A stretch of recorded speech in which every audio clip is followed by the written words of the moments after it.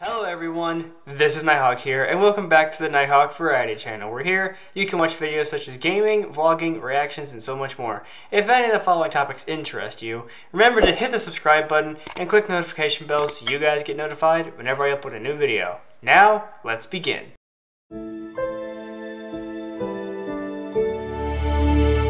Well, welcome back to Marvel's What If. I know I haven't done one of these episodes in quite some time, and recently one of them is about to hit a thousand views, so I figured I'd make another one.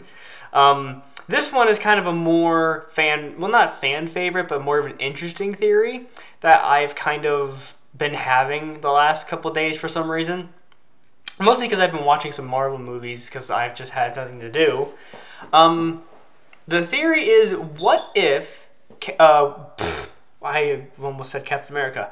What if Nick Fury was a Skrull from 2014? Meaning that he would have to be a Skrull ever, ever since 2014 to 2023, where we currently are in the MCU timeline. So, there are a few movies I'd like to actually go back and watch, such as uh, Captain Marvel, Iron Man 2, Avengers, Winter Soldier, and Age of Ultron, and Spider Man Far From Home. Those are the six movies that I guess have Nick Fury speaking parts, or someone speaking to them, I guess. Um, but if you guys remember in Captain Marvel, Nick Fury says, uh, weird distinctive feature about himself that no one else could remember or that or could copy. Um, if toast is cut diagonally, he cannot eat it, which is kind is just completely bizarre. But if you go back and watch Avengers: Age of Ultron, where Nick Fury shows up at uh, Hawkeye's house, you will notice that he is cutting toast diagonally, or cutting well he said he said he didn't say in half. He said diagonals, and you can see him cutting it diagonally and eating it, meaning that that is not Nick Fury. And he specifically said in Captain Marvel that no one calls me Nick, not Nicholas, just Fury. No one calls me by anything else, just Fury. So if everyone calls him by Fury, in all the movies he's been in, from Captain Marvel to the events that, that happened in Winter Soldier, then he's the real Nick Fury. But if people are talking to him in the movies, like the Avengers who know him, they'd be calling him Fury. But like, what if Maria Hill was calling or has been calling him um, just Nick? So if someone calls him Nick or he does something that doesn't seem Nick Fury like, does that mean that he's been a Skrull this whole time? That being said, basically in um, Winter Soldier, Captain America: Winter Soldier, Nick Fury got attacked by uh, Shield agents, which were actually Hydra agents. Um, and what they do is they kind of attack him to the point where I think he dies or something. So that would have mean that the Skrulls had, I guess, intel on him, heard about what happened, came down to Earth, picked him up, took him to his ship, took him to their ship, where he, where Nick Fury was brought back to life, told uh, Talos what was happening, and sent uh, Talos and one of his, I think his wife down there to pose as Maria Hill and um, Talos, or Maria, no, as Maria Hill and Nick Fury. But that means that Maria Hill would have also had to have been uh, someone else completely as well, because inspired. Well, well, yeah, that'd be the only way to make sense to keep the secret. So maybe Maria Hill that we've seen from 2014 as well has also been Talos' wife, I think. So that's another bigger theory that's been going around. But that would also mean that Nick Fury would have had to tell uh, Talos about everything that had happened in Winter Soldier up until that point so that they know how or how to fix or change or do any situation from there on out he would have to be have he'd have to have access to all of the other files in Nick Fury's personal vault or whatever he has that keeps his files on every I guess Avenger. So Talos would have to have that to figure out and communicate with these people and figure out what's been happening the past couple like years.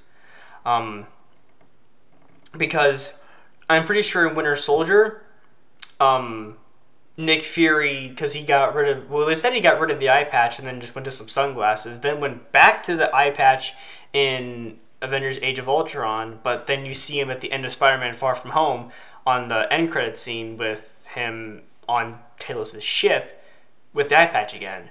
So I don't know. Some things are kind of weird, but if you if you try to fill in the gaps, him being a uh, a Skrull being this whole time actually would make some sense. There are some things that need to be filled in the gaps, but for right now, that's the current theory for Marvel. So basically, Nick Fury and I guess Maria Hill were around the same time as uh, Captain Marvel, all the way through I think Iron well well, mostly Nick Fury, but Iron Man 2, then the Avengers, then all the stuff went down in Captain America Winter Soldier, and I guess Maria Hill, maybe she retired, and they just brought in the two new ones as Nick Fury and Maria Hill to think it as nothing happened. And after that, they, they just kind of gathered information about these people, about what have what has happened in the past couple decades and that's it. So that begs the question when Nick Fury and Maria Hill were vanished from the snap in Avengers Infinity War, that might have just been. Um, that might have just been Talos and his wife. But even if that was the case, don't you think they would have changed back into their Skrull forms? Probably not, but I don't know. Then when they were brought back, they went to the funeral in Avengers Endgame and they're like, "Oh, okay, so because I mean, and maybe Captain Marvel knew too, but I don't know. That's that, that's the thing. That's it's an, it's a it's a theory that is still need to be worked on worked on. No, it needs to be worked on a little bit, but that's I guess the main theory right now. Ever since 2014, uh, Nick Fury's been a Skrull, and he will continue to be a Skrull until I guess I think they're supposed to do a TV show or either a new movie on Disney Plus called Marvel's Secret Invasion, which is supposed to be all about the Skrulls. So you don't know if all the people you've been seeing up up until this point have been Skrulls or not, which is kind of strange and weird to think about. But the whole Nick Fury thing. Now, granted, Nick Fury is not dead. If you go watch Spider-Man: Far From Home and you watch the end credits, you will see that Nick Fury is on the Skrull's ship. My question is, why is he there? How long has he been there? Because there's no way he just decided to work this much on Shield and just say, you know what, I'm gonna take a vacation up in space. He he's got to be he must have been up there for a very long time. But that's my theory. That's the current MCU theories on it, or MCU fans' theory on it as well. So, with that being said, if you guys like this video, leave a comment in the comment section down below. Let me know what you guys thought of this video and this theory. Remember to share this video with your friends and family. And for today's question of the day, what do you think about this theory? Do you think it is? Do you think that Nick Fury has been a Skrull since 2014?